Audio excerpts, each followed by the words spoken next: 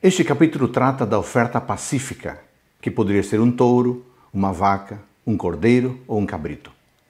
O traço distintivo da oferta pacífica era a refeição em comum partilhada na área do santuário, na qual a alegria e a felicidade prevaleciam e onde os sacerdotes e o povo conversavam. Geralmente, a oferta pacífica era precedida por uma oferta pelo pecado e uma oferta queimada. O sangue havia sido aspergido, a expiação fora feita, o perdão fora concedido e a justificação havia sido assegurada.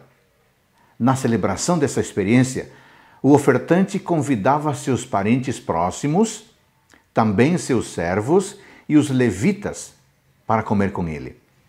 A família toda se assentava no pátio da congregação para celebrar a paz estabelecida entre Deus e o homem entre este e o seu semelhante. O sacrifício da paz parecia implicar que aquele que o ofereceu estava em comunhão com Deus. Caso contrário, ele não teria permissão para comer a carne do animal abatido. O objetivo dessa oferenda era invariavelmente a salvação, seja dando graças pela salvação recebida, ou suplicando pela salvação desejada.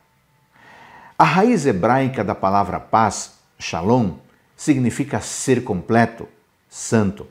A palavra aqui denota a totalidade das bênçãos e poderes pelos quais a salvação ou integridade do homem em seu relacionamento com Deus é estabelecida e assegurada. Observe nos versos 16 e 17 que o povo de Israel estava proibido de comer a gordura ou o sangue, pois pertenciam ao Senhor. Além do significado simbólico, a regulação da gordura era uma forma de medicina preventiva. Hoje, você sabe, os médicos recomendam que comamos menos gordura para reduzir a taxa de hipertensão, doenças cardíacas, derrame, diabetes e doenças pulmonares. Deus também está muito interessado em nossa saúde física.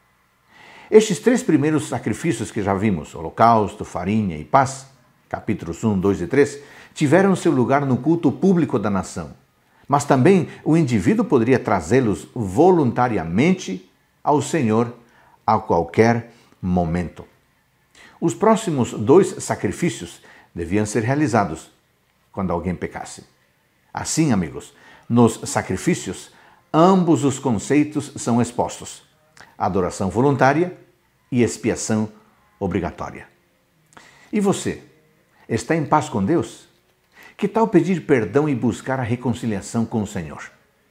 Lembre, na cruz do Calvário, a nossa paz já foi garantida. Precisamos receber essa bênção por nós mesmos, pela graça de Deus bênção para você no dia de hoje.